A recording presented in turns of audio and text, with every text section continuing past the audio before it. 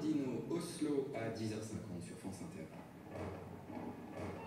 Allez, 5 4 parce qu'il fallait vraiment ben, il fallait que l'ensemble du territoire soit solidaire, s'approprie le projet.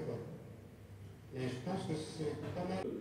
La grosse difficulté, c'est qu'il n'y ait pas d'opposition. venir travailler, euh, on va vous trouver un petit travail à faire, vous ne serez pas payé, je vous ai dit, c'est pas grave, je, je- entreprise à faire travailler des gens dans un secteur non concurrentiel, c'est ça? Alors il y a ça, et puis aussi euh, toute la partie financement de, de ces entreprises euh, conventionnées euh, qui va consister à un transfert euh, de fonds vers ces entreprises.